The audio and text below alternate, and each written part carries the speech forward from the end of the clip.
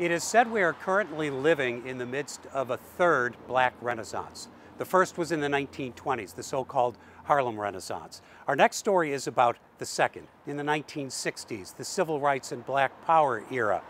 And we don't have to go to Harlem for this story. We recently ran a documentary about BAG, B-A-G, the Black Artists Group, a group of African American musicians and artists here in the city. Ruth Ezell recently caught up with the director and asked him why he thought it important to tell their story. This is just such an important story. This is something that people need to know. And being in St. Louis and seeing that I had access to some of the key players in the story, um, it was, I guess, a little bit, it just seemed uh, like it had to happen you know you've got the avenue here start reaching out start talking to people that were here during that period that were part of the bag organization. And uh, let's just since i have the gear let's get the camera rolling and let's see what we can do. Well you must be a music lover or this would not have interested you. That's definitely what drew me in. Um, you know i was researching albums and i came across a top 10 list and they listed the Black Artist Group album, the Live in Paris album, as one of the top 10 experimental jazz albums of all time.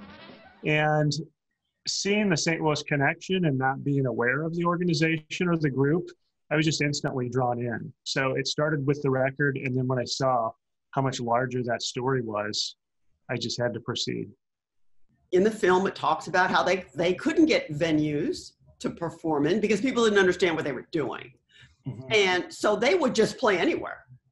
They would find ways to play, uh, whether it was at Forest Park, um, you know, or a few small venues around that would allow them to play. But I think what's really cool there also is if you look at how they ended up opening their headquarters on 2665 Washington Avenue, you know, that became not only a venue where they could kind of say, hey, you know, we don't have to rely on the gatekeepers anymore. We'll put on our own shows here, and maybe we'll open up the doors to people that wouldn't be able to get into a show somewhere else. You know, not only were they doing that at that space, but that did become the headquarters for their educational programming. So kids that were in the city that you know were interested in in an art form, be it um, poetry, be it painting, be it music, be it theater, they could come there and learn. Um, and it also became a spot where they would have these weekly forums that were political forums about what was going on, not only in the city, but nationally and what could be done about it. So I think, you know, again, that gets back to this kind of do for self.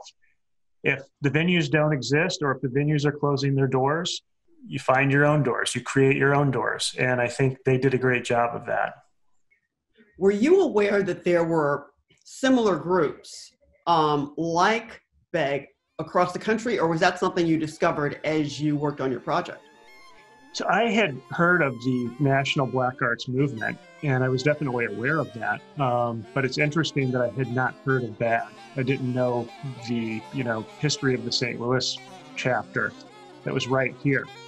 So yeah, I mean that was another really that was a driving force to kind of do this documentary. I feel like St. Louis is notorious for kind of sweeping its history under the rug. You know, we hear about the movements that go on in larger cities, whether they be in New York or in Chicago, but unfortunately, the St. Louis story is usually the one that gets looked over. And the St. Louis story for BAG, it was far more interdisciplinary than its, its counterparts in other cities.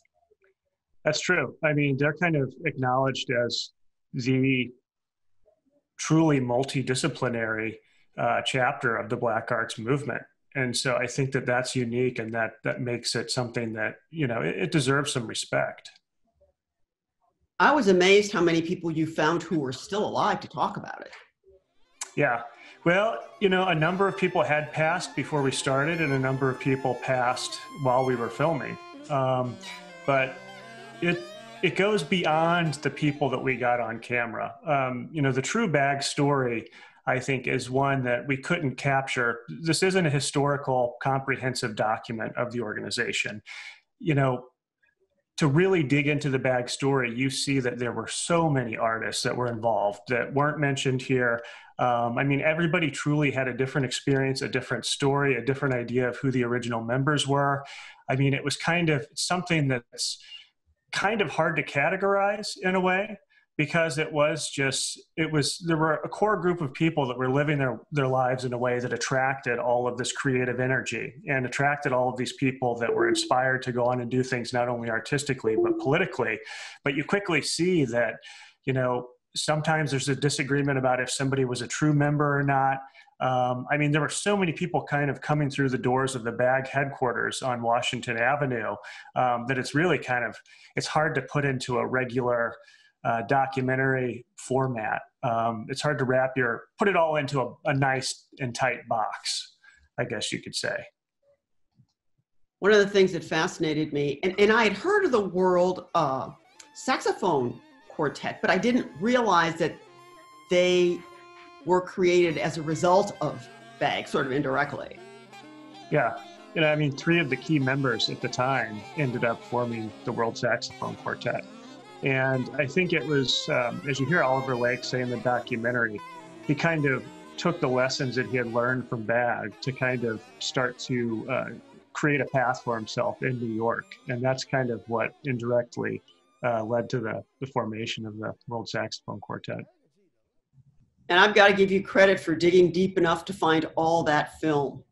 I wish we would have found more. Um, you know, we did find a few people that were here in St. Louis that had documented, and then the boxes of documentation just sat in their basement. And so, as we started to collect interviews and kind of follow the leads that people would say, hey, you know, check with this guy. I know he was at this show and he had a camera you know, we luckily we started to uncover this stuff. And the funny story is, is I've gotten a couple of emails after the documentary aired at the St. Louis Film Festival of some other possible leads, some other documents that might exist. So it's surprising because I think their bag was really prolific at the time. I mean, they were doing shows weekly. There's so much that wasn't documented, but I do hope that even as this airs and as we kind of say maybe this chapter or this this part of the documentary might be complete we find more and we're able to kind of like supplement this this document with more archival footage and more things that haven't been seen by the public. So we could see an update then. An i hope so. I hope so. For living st louis i'm Ruth Ezell